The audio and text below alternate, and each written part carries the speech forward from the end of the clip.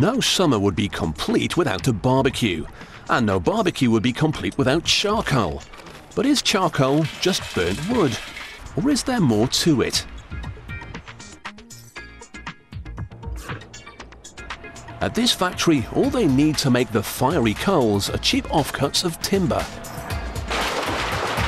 They're brought down to size by a giant cutter. The wood still contains moisture that needs to be completely removed before it's turned into charcoal. So it goes into a silo where it'll dry out at 100 degrees Celsius. But to make it bone dry, they have to heat it in a retort. It's a special apparatus which will extract every drop of moisture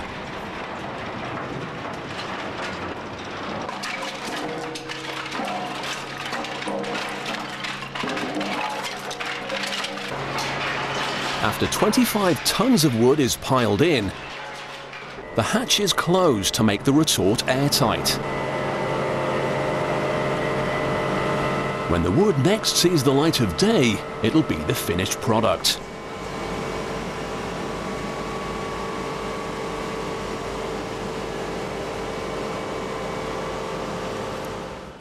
In the lab, a scientist demonstrates how it works.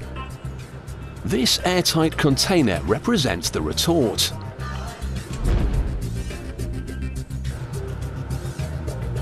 The wood is heated inside, and because there's no oxygen, it can't catch fire.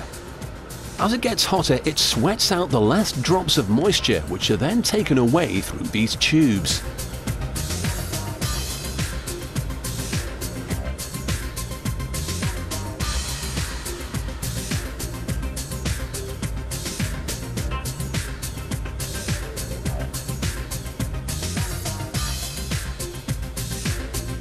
What's left is carbonized wood, or charcoal to you and me.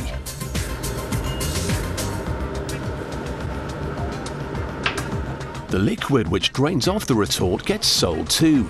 It'll be used to flavour smoky foods like salami.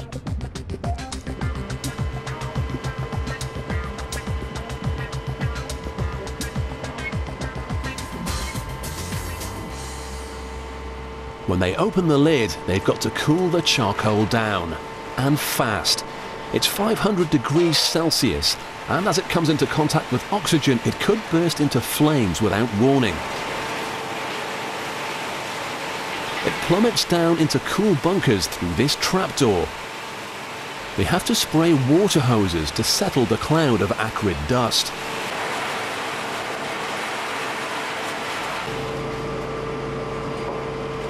Once it's locked in the bunker, the danger's over.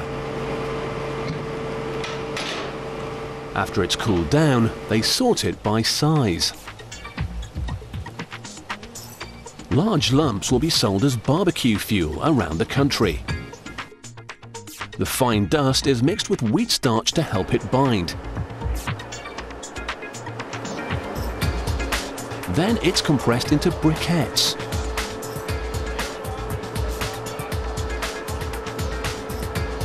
At this stage, they're still soft. So they get baked off and turned into solid lumps.